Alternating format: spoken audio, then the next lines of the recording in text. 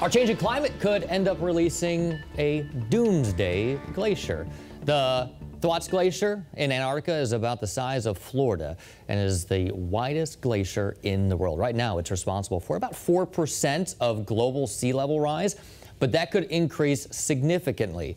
Warmer ocean temperatures are not only melting the glacier, a recent study has found that they're also cracking the ice shelf holding it back. And if that ice shelf fails and the glacier can flow and it can melt freely, which is obviously not a good thing. It could raise global sea levels by several feet.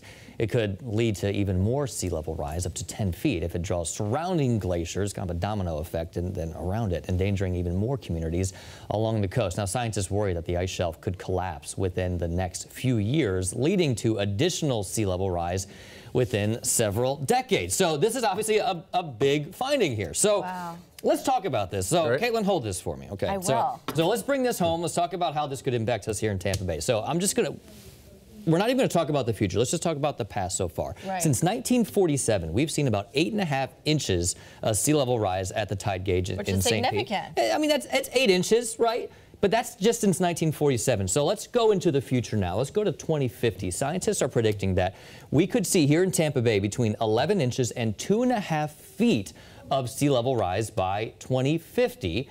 So two and a half feet, I mean, that almost takes you up to the top of right. our, our uh, yardstick here. But looking ahead to 2100, so we're talking about what, a, a, generation down the road, maybe two generations, kids, grandkids. We could see potentially as much as, and this is a, a forecast, 8.5 feet of sea level rise by 2100. That's here in Tampa Bay. Think about your coast. Yeah. Think about your backyards if you All live at the beach. All the communities that live mm -hmm. along the coastline yep. too. Yep. Talk I mean, about the numbers, but this right here makes it tangible, Grant. This is three feet, right? A right. Six three feet double this, yeah. triple this. That's what we could see for sea level rise, and that's and, and, that's not talking about the impacts from this glacier potentially collapsing and then releasing all of that water into our oceans. Things are changing. Mm -hmm. we, we have to start you know, recognizing you know what these impacts could be if we don't start making changes right now. And no doubt. Time is now, guys.